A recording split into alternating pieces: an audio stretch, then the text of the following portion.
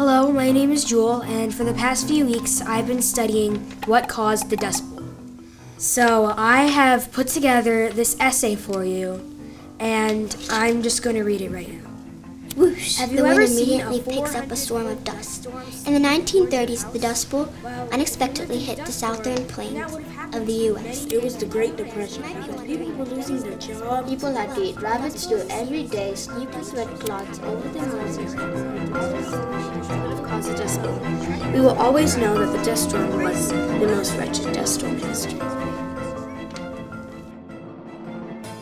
What I like about DBQs is learning more history. I like that you could like write about like write about anything you want, but it has to be on topic. It was super fun to be learning about the Dust Bowl. What I like, I like the hook exercises because they're really nice and you know they help you kind of prepare for what you're actually writing. Like, it has the background essays, and the background essays really give us a lot of information. And if you don't want to read it, then you could just let the computer read it to you. Then I would take notes on the different paragraphs and I would say, oh, I should probably put this in my writing, so I would put it on the sticky note.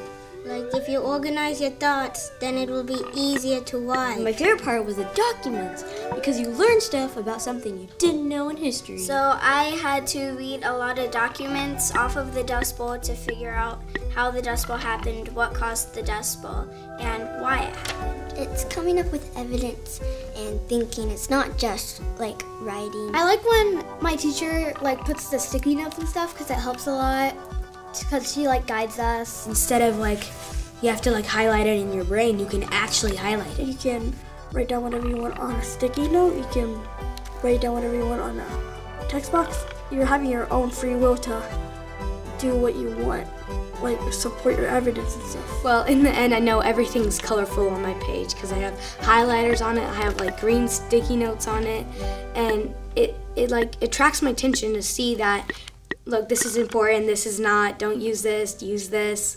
It really helps. It, I think it helps me focus more. Since my topic is what caused the Dust Bowl, the three causes of the Dust Bowl are farmers and tractors, which goes in one bucket, then the drought, then the second bucket, and then supply and demand in the third bucket. And the thrash out is really fun because you get to share your ideas and put it out there so you're not just one little thing and one small voice. Like you're a really big voice and you might win the thrash out by like not win, but you might get a lot of people to come to your side because of your voice. The thrash out's my favorite. During the thrash out, I was very, I was very, I really liked the way the supply and demand had all the backup and information I needed. I just enjoy speaking loudly and debating over what I believe. But then as I got more and more to writing my essay, I realized I didn't have enough as I did with the tractors or the drought. You get to use your proof and evidence